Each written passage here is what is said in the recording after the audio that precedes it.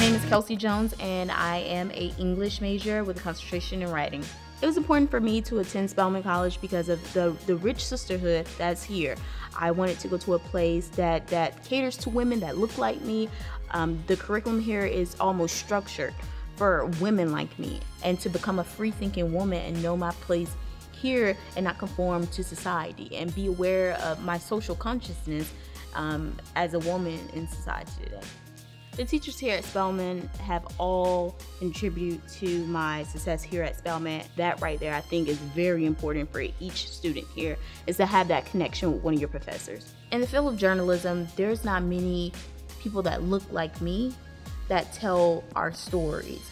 I'm constantly sharing stories that's happening in my local community, in my hometown local community, and in the world to, to my peers, to my friends and family. I'm constantly sharing these stories to them just so that they stay informed on the happenings around them. I, I think that's important.